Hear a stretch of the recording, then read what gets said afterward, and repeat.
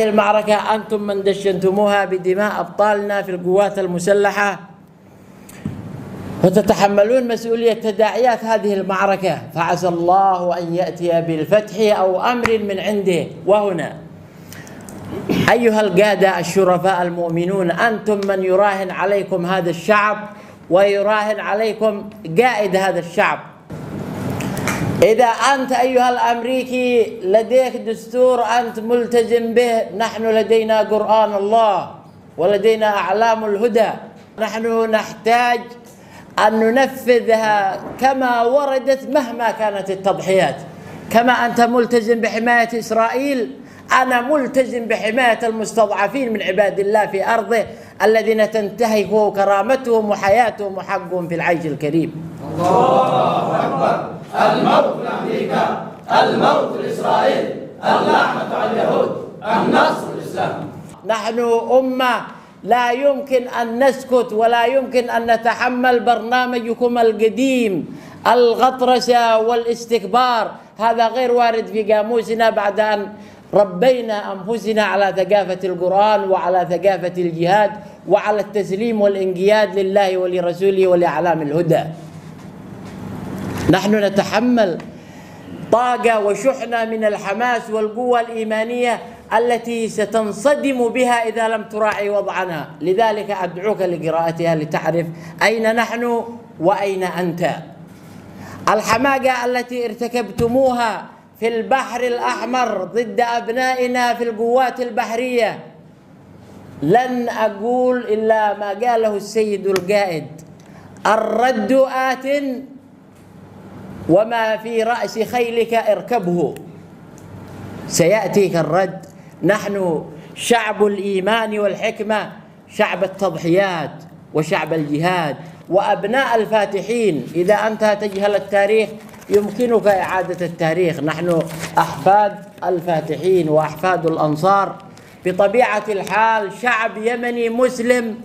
نرفض الذل ونأبى الضيم. بالتالي كلما ارتكبت من حماقة دخلت في مستنقع هذا الشعب ولن تخرج منه.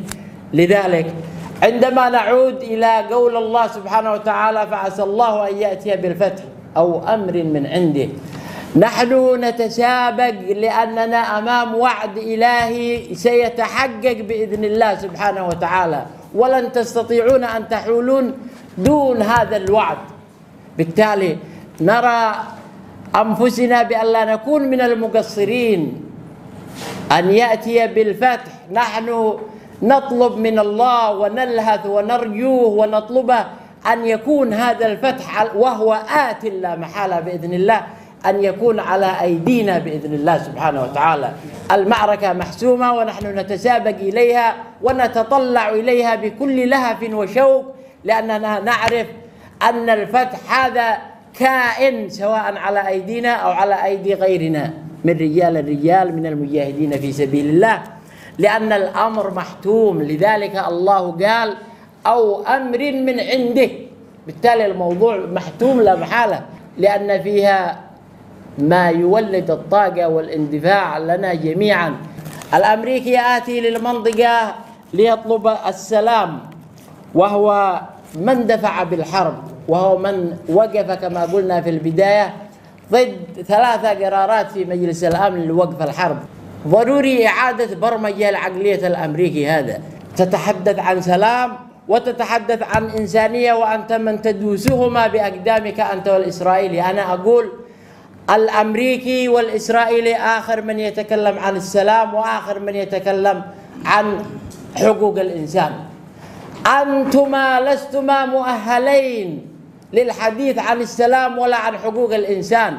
هذه المعركة ستدخلها وأنت كاره والرد آت لا محالة.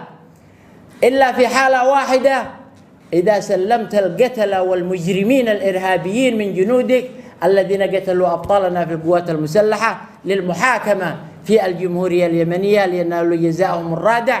هنا ممكن أن تكون خرجت من الورطة التي قد دخلت بها ولن تخرج. موقفنا موقف إيماني ومن منطلق إيماني من هويتنا الإيمانية. موقفنا أيضا يعبر عن الإرادة الشعبية وأنا قلت لكم في البداية أنتم في قيادة الجيش اليمني لستم إلا طلائعا لهذا الشعب وإلا فظهركم أربعين مليون يمني متلهفين شوقا. وهذه المعركة هي فتحت لنا الأفق كثيرا في وضعنا الوطني وعلى مستوى وضعنا الإقليمي والمنطقة بشكل عام. المعركة سنكسبها بإذن الله سبحانه وتعالى على أي الأحوال. وإن أدت إلى استشهادنا فهذا نصر ونعتبره نصر بإذن الله سبحانه وتعالى. نحن كشعب يمني مسلم لا جديد لدينا، نحن نرى بأن إسرائيل هي عدونا وعدو كل مسلم. هذه قاعدة وهذه قناعة نعبر عن إرادة هذا الشعب ونعبر وننسجم مع تطلعات وإرادة هذا الشعب ونعبر عن هوية وإيمان هذا الشعب لأنه بطبيعة الحال يرى الإسرائيلي عدوا له. بالتالي ما الذي كلف الأمريكي للدفاع عنه؟ لما أتى العدوان على أهلنا في غزة وقلناها وسنكررها أنك لم تحمل تصريحاتنا وقراراتنا على محمل الجد. قلنا لن تدخل غزة وفينا ذرة من إيمان وكرامة ولن ترى ردا. ورأيت الرد. لما تأتي ترد علينا تقول تريد السلام في المنطقة. وأنت تأتي تدخل في معركة مع قواتنا البحرية اليمنية من أجل حماية سفن إسرائيل. أي سلام تدعو عنه. كل أضاليل هذا العدو مفضوحة أمام شعبنا. شعبنا ارتقى وشاب عن الطود لأنه تثقف بثقافة القرآن والتزم لأعلام الهدى. شعبنا غير مدجن. شعبنا لا زال حيا وحرا ويأبى الضيم.